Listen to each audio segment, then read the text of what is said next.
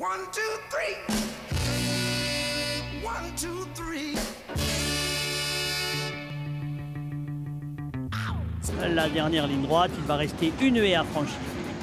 Loissia le 5, qui met un petit peu la pression sur le favori Prince Sumitas, qui semble avoir d'évidentes ressources. Bambi du Noyer, l'animateur de la première heure, n'est plus que troisième devant le numéro 2 Star Mix.